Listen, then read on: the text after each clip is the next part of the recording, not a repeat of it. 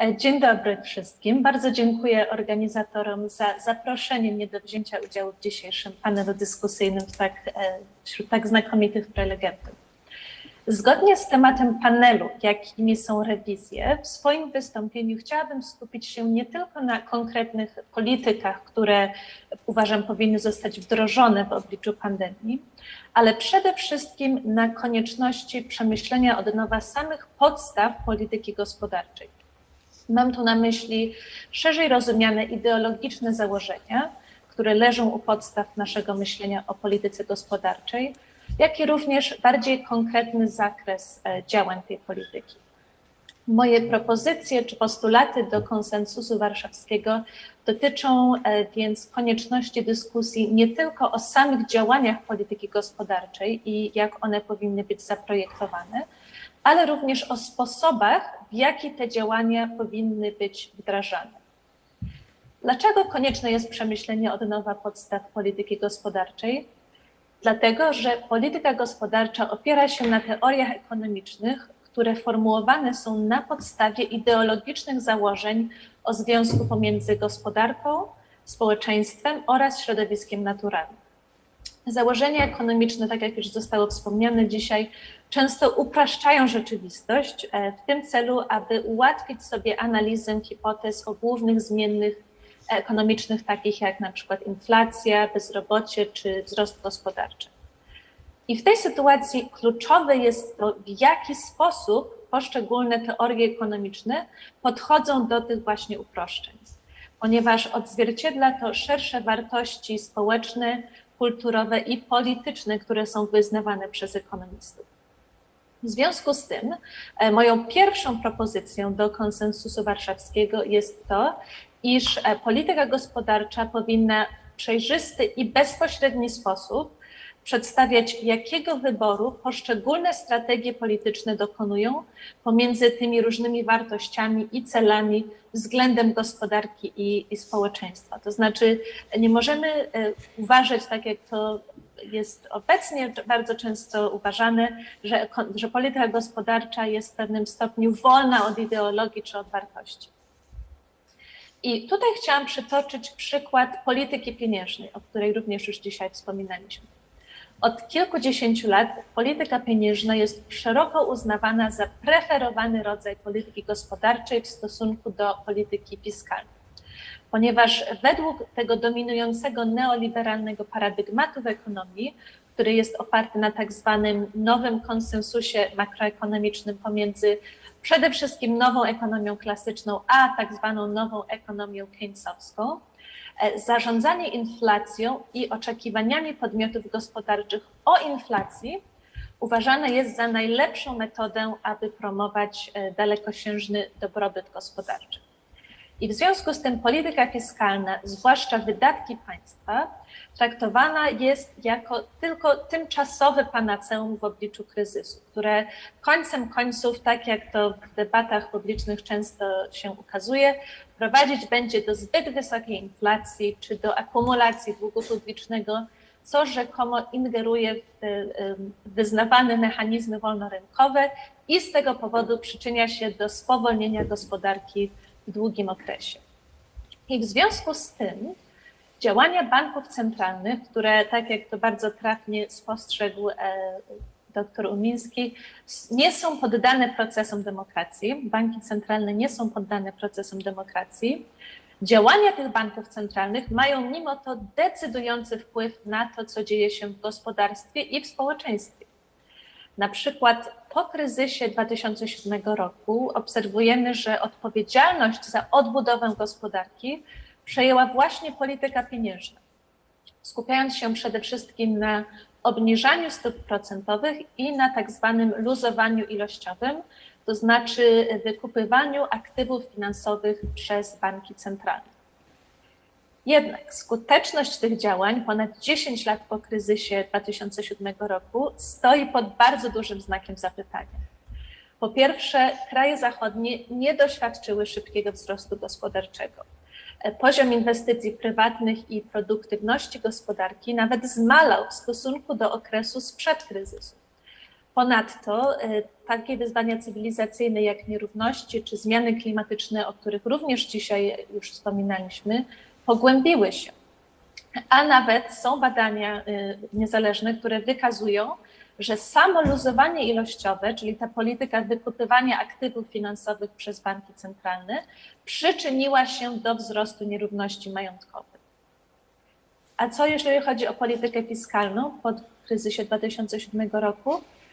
Polityka ta była mocno ograniczona, głównie do ratowania sektora banków prywatnych w, w tych latach y, następujących tuż po tym, po tym kryzysie. A w wielu krajach po tych już, jak ta, ta polityka już została zakończona, w wielu krajach e, zostało to zastąpione cięciami budżetowymi czy polityką zaciskania pasa, co e, jak wykazują również inne niezależne badania, negatywnie wpłynęło na standardy życia w, w tych krajach oraz na sam wzrost gospodarczy.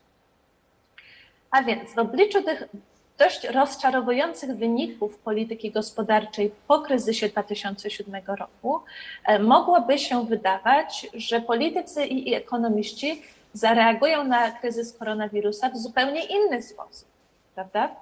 E, I z jednej strony, e, myślę, tak jak też już wspominał o tym mój poprzednik, zaobserwowaliśmy niektóre bardzo korzystne zmiany w podejściu do polityki gospodarczej.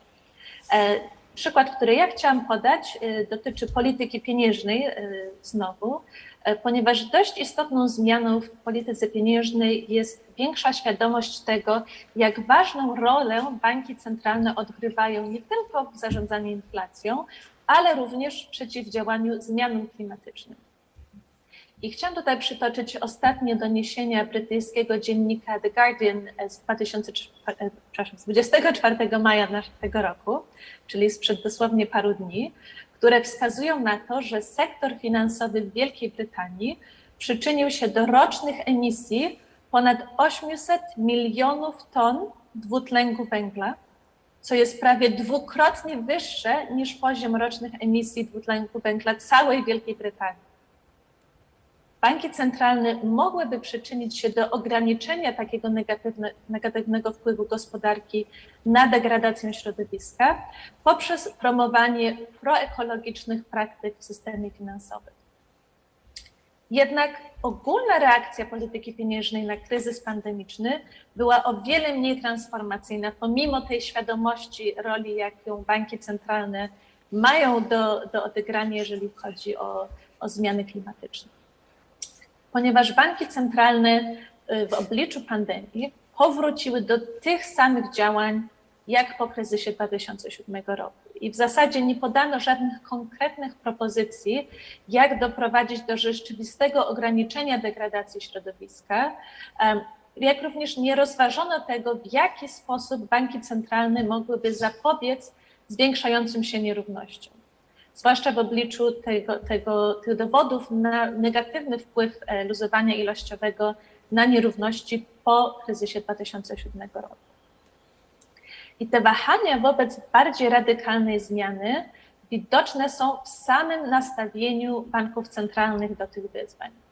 Na przykład e, w swoim wystąpieniu 25 stycznia tego roku przewodnicząca Europejskiego Banku Centralnego Christine Lagarde jasno powiedziała, że banki centralne, jej zdaniem, nie są głównym podmiotem odpowiedzialnym za walkę ze zmianami klimatycznymi i że działania banków centralnych w tym zakresie powinny być ograniczone tylko do kwestii tego, w jaki sposób zmiany klimatyczne wpływają na główny cel banków centralnych, jakim jest utrzymywanie stabilności cen. I podobnie, e, jeżeli chodzi o nierówności, wewnętrzne badania banków centralnych, na przykład raport znów e, Europejskiego Banku Centralnego z 2018 roku, aktywnie wypierają się tego, że luzowanie ilościowe miało jakikolwiek negatywny wpływ na nierówności. Próbują nawet odwrócić kota ogonem, nalegając, że luzowanie ilościowe wcale nie zmniejszyło nierówności, a nawet e, są takie postulaty, że rosnące nierówności wcale nie są rzeczywistym problemem, jak, jak często się y, to, to przedstawia.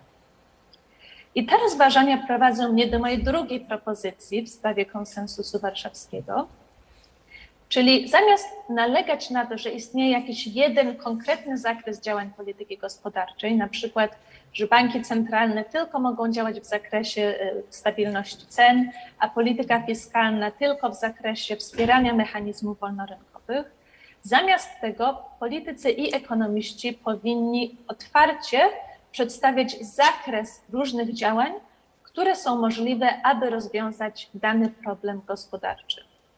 Ponieważ wbrew temu, co głosi ten dominujący paradygmat w ekonomii, że nie ma innej alternatywy dla takiego właśnie spojrzenia na kształt polityki gospodarczej. E, z tego, o czym już dzisiaj dyskutowaliśmy, istnieje bardzo dużo różnych rozwiązań, czyli wiele różnych alternatyw, które powinny być rozważane przez rządy i banki centralne. I moim zdaniem polityka gospodarcza w tym, e, w tym sensie nie powinna definiować swoich działań przez pryzmat tego, jakie narzędzia są jej udostępnione przez daną teorię ekonomiczną, a zamiast tego powinny być one określone przez pryzmat problemów, jakie polityka gospodarcza próbuje rozwiązać.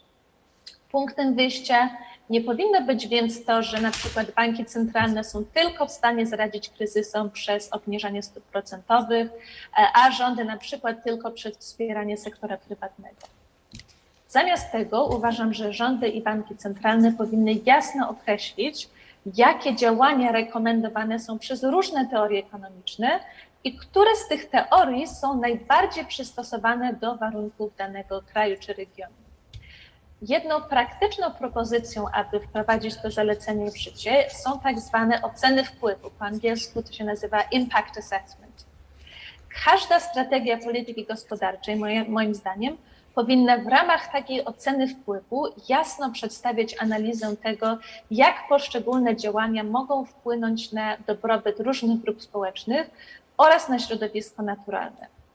I w ten sposób decyzje polityki gospodarczej mogłyby się stać zarówno bardziej transparentne, co jest szalenie istotne w procesach demokracji, jak i, mam nadzieję, bardziej skuteczne. I tutaj zaproponuję trzeci, ostatni punkt do naszej dyskusji o konsensusie warszawskim.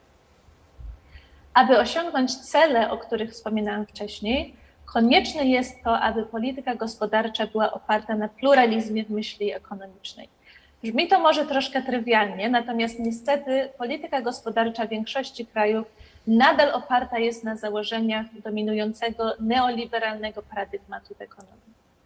Jednak jest jeden rzeczywisty przykład zmian, dobrych zmian w tym kierunku, o którym też już dzisiaj wspominaliśmy, to znaczy plan e, prezydenta Bidena w Stanach Zjednoczonych. Strategie takie jak amerykański plan ratunkowy, amerykański plan zatrudnienia czy amerykański plan rodzin, które zostały zaproponowane na wiosnę tego roku, pod wieloma względami przewracają do góry nogami dotychczasowe podejście do polityki fiskalnej. Mam tu na myśli działania takie jak inwestycje w infrastrukturę społeczną, e, bezpośrednie transfery pieniężne dla ludzi, perspektywa gwarancji zatrudnienia i radykalnych zmian w systemie podatkowym. Te strategie oparte są na innych niż dotychczas teoriach ekonomicznych i założeniach ideologicznych. I ukazuje to, iż możliwe jest inne podejście do polityki gospodarczej, jeżeli dopuści się do głosu ekspertów z różnych nurtów na ekonomii i nie ucina się dyskusji sianiem strachu o długu publicznym czy inflacji na modłę dominującego paradygmatu w ekonomii.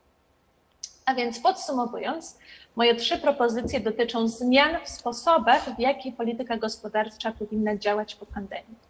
Po pierwsze, rządy i banki centralne powinny otwarcie przyznawać, jakie założenia teoretyczne i ideologiczne leżą u podstaw poszczególnych strategii.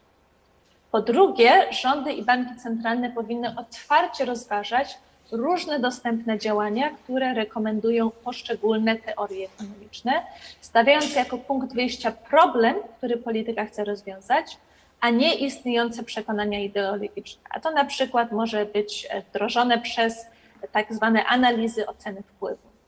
Po trzecie, polityka gospodarcza musi być oparta na pluralizmie w myśli i zgodzę się tutaj z doktorem Umińskim, edukacji ekonomicznej. A więc w naszej dalszej dyskusji z chęcią rozwinę wybrane wątki ze swojego wystąpienia i odniosą się do konkretnych działań, które uważam za wartościowe, patrząc w przyszłość. Bardzo dziękuję za uwagę. Dziękuję bardzo.